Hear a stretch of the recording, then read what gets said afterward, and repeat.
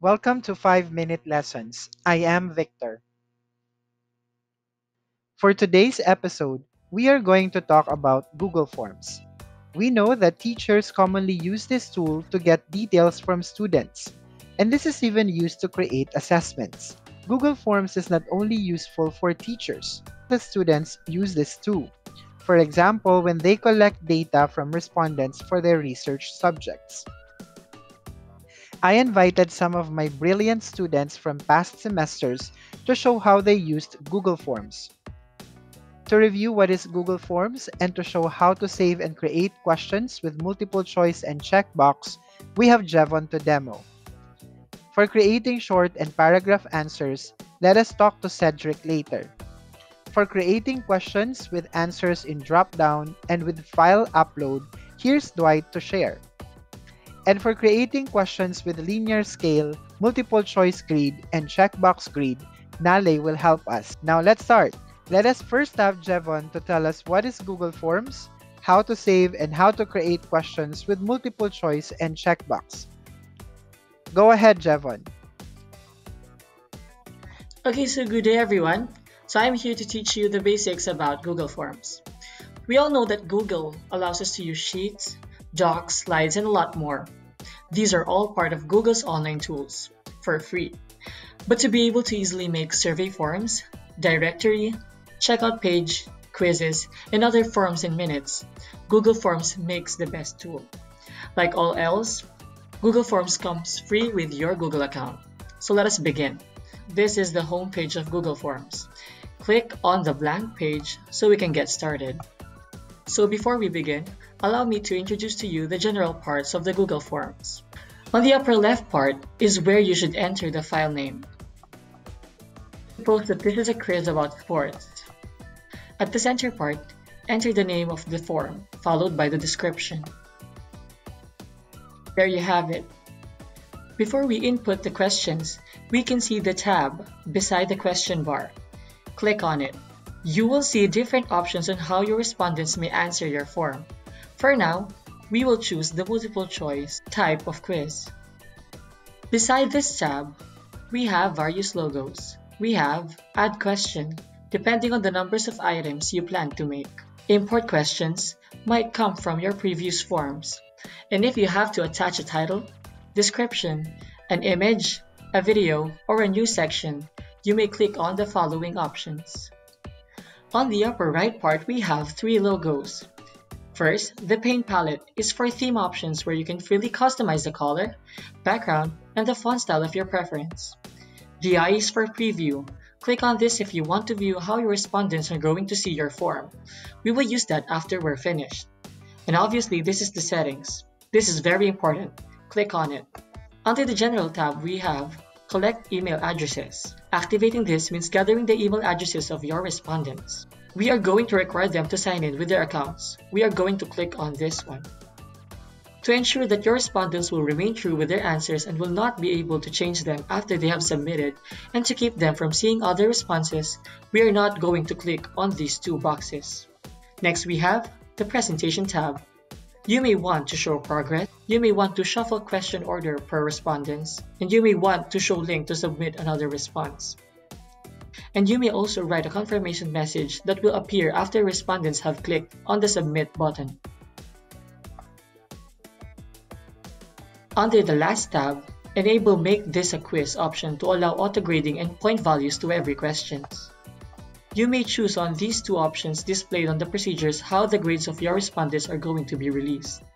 You may want to check these three remaining boxes after all your respondents have submitted for manual rechecking and so they will not see them. Save. Let's now proceed to writing down our questions. We can now add the choices. We could also add image in place of our word choices. We can now add more questions by clicking Add Question.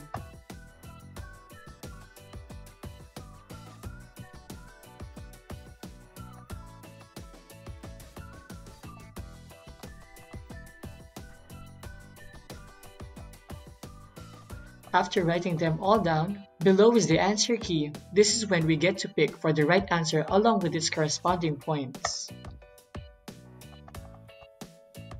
After writing down all of them, we can see the number of points in total for this section right here. We have three other options below each questions. We have duplicate, if you wish to copy exact same questions and choices, delete, and if you will require your respondents to answer the quiz, click on this one. We are now going to the responses. You may disable it after all your respondents have submitted or if the time limit has been reached and you will no longer expect any responses. But for now, we will keep it activated. Now we can look at the preview and see.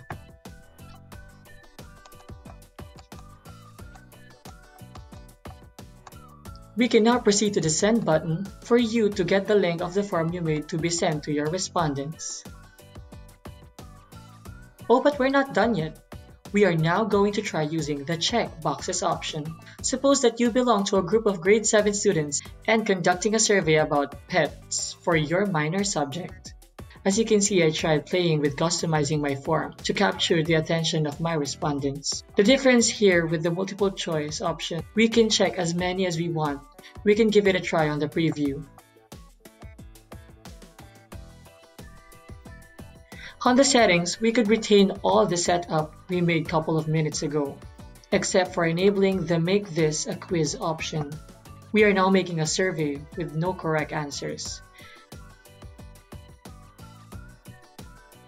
And you're done. Wow, that's very informative and clear, Jevon. Let's continue. Cedric will demo how to create questions that would require short and paragraph answers. I heard that Cedric will demo using his mobile phone. Let's see how he'll do these tasks. Cedric? Look for your browser and then search for forms.google.com. This is what it should look like if you already sign in your account in your browser. If not, you have to to access Google Forms. And then look for multiple choice since it is a default. There you could have short answer or paragraph option and then you may proceed to your desired question.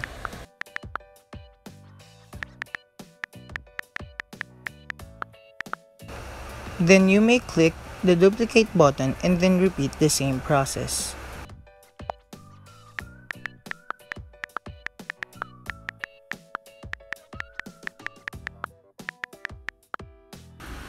Notice that it always goes back to default, which is multiple choice, Make sure to double check and put it in your desired option, in this case, short answer. Don't forget to click required to necessary information.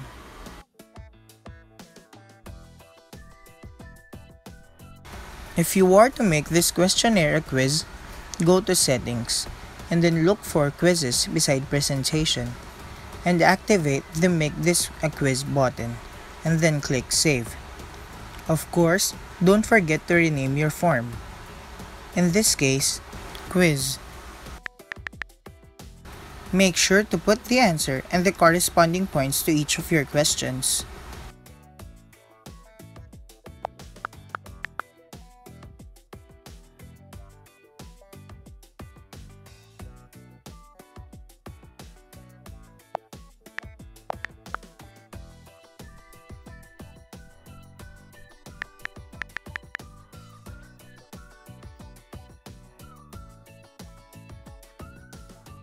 If you think you're already done, make sure to double check using the preview button before sending.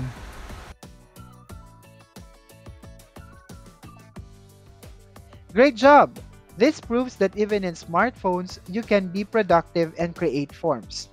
Cedric did not only show us how to create questions with short and paragraph answers, he extended his demo on how to make the form graded. Thank you for that, Cedric. Now, let's go ahead and hear from Dwight how to create questions that will allow us to use drop-down and upload file options in Google Forms. Yes, you heard me right. We can let our respondents upload a file. I learned that he is going to demo using his mobile phone too. Are you ready, Dwight? So I will teach on how to have file upload in Google Form. So in this case, I will choose storybook cover as a preferred answer in this question. And I will choose file upload in these choices and it will show you this, the maximum number of files that you want and maximum file size that you want. You can also allow only specific file types that you want to be attached in this question. So we will choose 1 as the number of files, the maximum file size as 1 gig. So we will choose document. And there, let us preview this question as a respondent. So as you can see, we can add file and we can choose files from our device. So for example, we'll have documents. So there, we can upload. And there you have it, you already uploaded a file or a document in the question. That's just how simple you can do a file upload in a Google form. I'm going to teach on how to have drop-down choices in Google form. So as you can see, I set region as an example so that we will have many choices to see the difference in multiple choice and drop-down easily. So let us preview the question as a respondent. As you can see, we have many choices and it's taking too much space and we will scroll so long. So here, when we turn it into a drop down, we can see the difference of drop down and multiple choice. So let's go back in making the form. So here, as you can see, we will change the multiple choice into drop down. So choose drop down and there, let us go back in previewing the question. So refresh and there you can see the difference between multiple choice and drop down. Drop down will not take too much space unlike the multiple choice. So there's the difference between drop down and multiple choice. Nice one, Dwight. But I suggest that we use a smaller file size if we are just expecting text or document files to be uploaded by your respondents. Regarding the drop-down option, I totally agree with you that it comes handy when we don't want our options to consume a lot of screen space. Now let's get going. Here's Nale to show how she creates questions with linear scale, multiple choice grid, and checkbox grid. Nale, please start. This is how to create questions with linear scale, multiple choice grid, and checkbox grid. So first, go to your Google Drive. Then on the upper left corner, you can see New. Click it and click More. Then choose Google Forms. This will automatically direct you to create your own Google form. As you can see, you can change the title, description, and also the questions. On the right side, you can choose other options here. For example, you have a research and you want to have a survey on students about your paper. You may use the linear scale option. So for linear scale, you can change the, the title here and also the description. Then, you can click this untitled question and change it to what question you have. You can choose between 0 to 1 as the lowest, so I will choose 1, and 2 to 10 as the highest. I will choose 5. You can also put labels here, but it is totally optional. On the upper right side, you can see here an I button in which you can see a preview of your Google form. This it is what it looks like for students. So if you want to add more questions, you can click this icon here to duplicate and change the question. You can also delete it by clicking this trash button here. For multiple choice grid, I can just change it here. So click this button, then click multiple choice grid.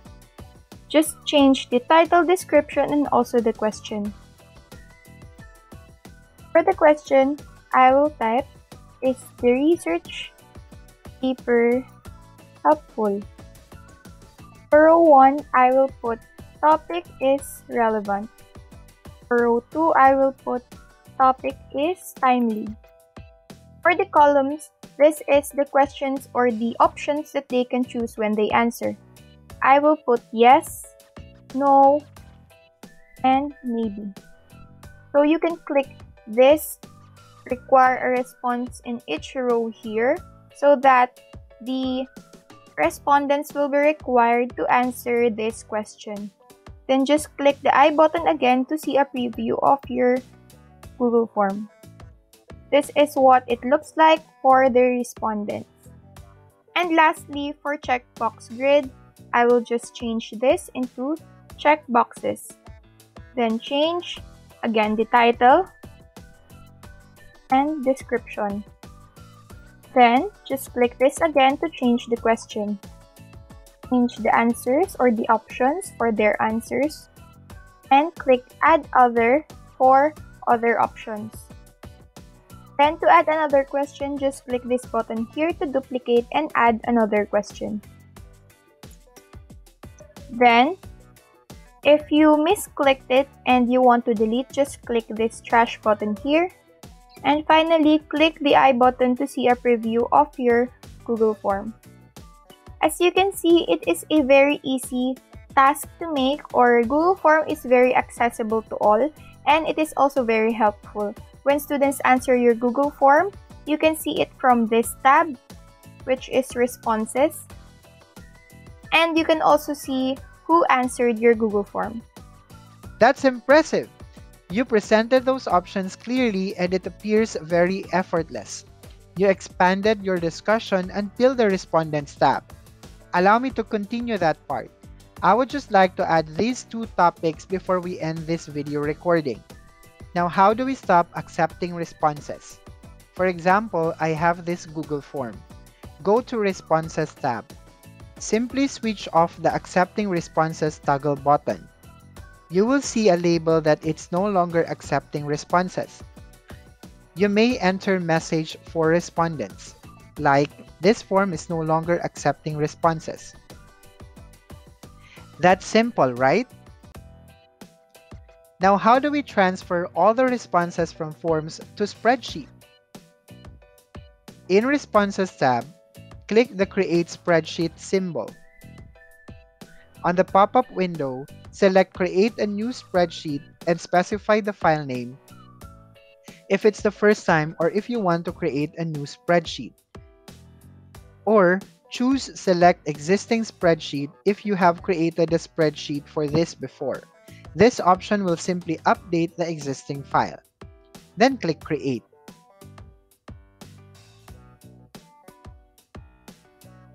A spreadsheet file will be created and saved in your drive.